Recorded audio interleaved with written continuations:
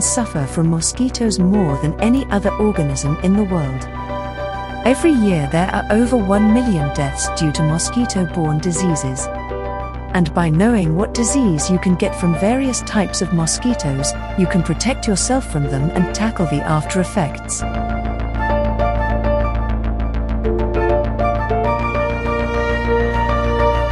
One of the most common diseases caused by mosquitoes is malaria. It is caused by a one-celled parasite called Plasmodium.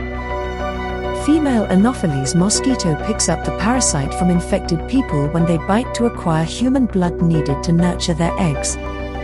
Malaria parasites multiply rapidly in the liver and then in red blood cells of the infected person. Malaria is deadly, therefore, saving yourself before it hits you is important.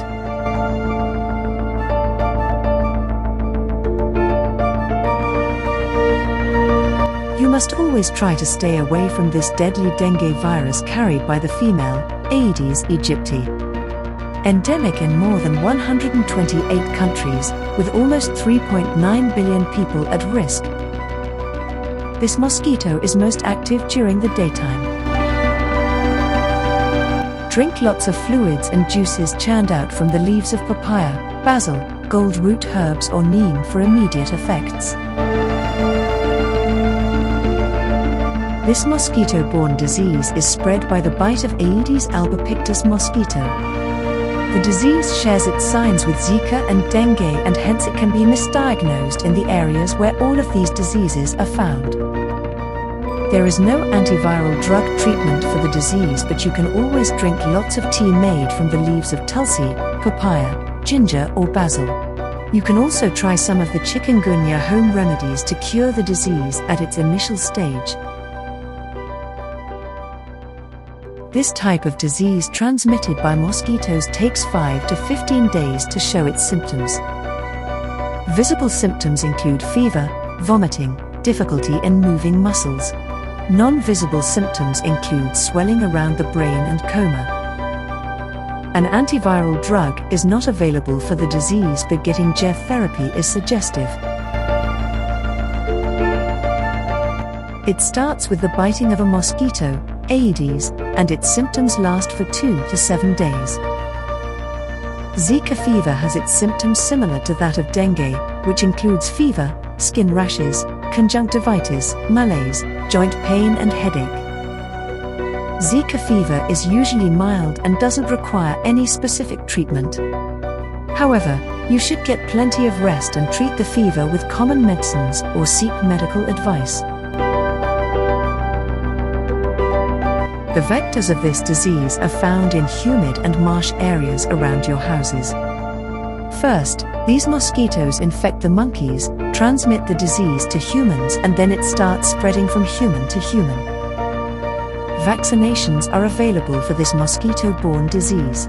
A single dose of yellow fever vaccine provides lifelong protection against it.